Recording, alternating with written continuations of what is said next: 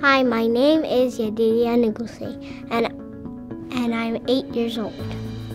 When I first met Yahida, she was a very frightened young child who had uh, just had a sudden decline in her vision and was having uh, quite a few hormonal problems that were affecting her day to day life.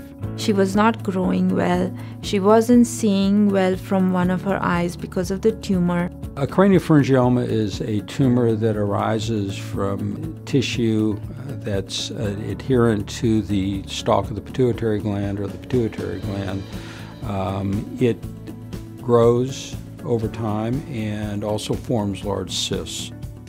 Montefiore doctors use a multidisciplinary team approach to manage patients with uh, complex neuroendocrine problems, um, especially tumors of the brain. Dr. Heptulla was, was uh, critically important uh, for the preparation of Yahida for her surgery. All the hormonal deficits needed to be corrected, and there needed to be a plan in place to maintain an equilibrium in the hormonal function during the operation.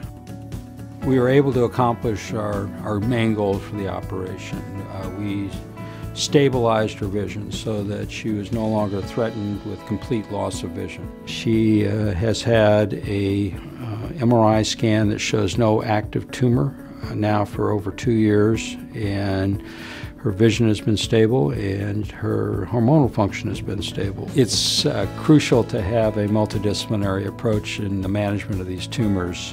I think all kids have a lot of energy, enthusiasm, and that makes it fun for us to take care of them and to give them hope for their future. That's what we all hope for is a better life for our kids and Yedidia embodies all of that. If I met another kid that was coming to Montefiore, I would tell him that he shouldn't be nervous because they have great things. They have a big waiting room and these play areas. I'm really happy I came to Montefiore because the doctors and the nurses are very nice.